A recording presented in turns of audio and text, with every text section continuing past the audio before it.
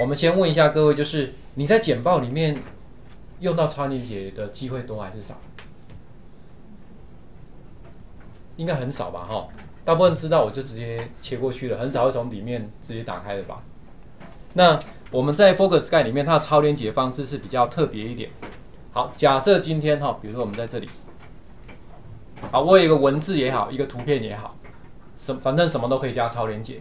你看一下右手边，有没有发现有一个连接在这里？看到了哈，就在这里。可是呢，它是用什么？用一个区块去把你框住的。你看，我点到它，添加连接，按一下，这个时候你就把你要变超点的地方把它框起来，这样你了解吗？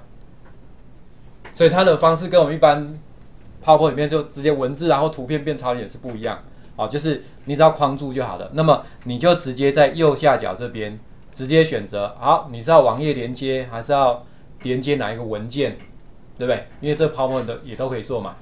哦，可以用相对路径的哈。那所以呢，如果你是网页的连接，你就把你的网址就打在里面，就这样子而已。那么真正在看的时候，请问会不会看到这个红色的预览的时候会不会看到？当然不会。好，动画看一下，进来。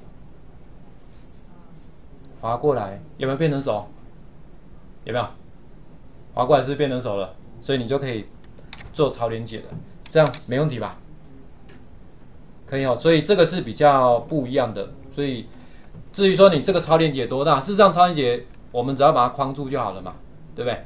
把它框住了就好了，那多大就你自己决定，这个没有什么太大问题。好，OK，好。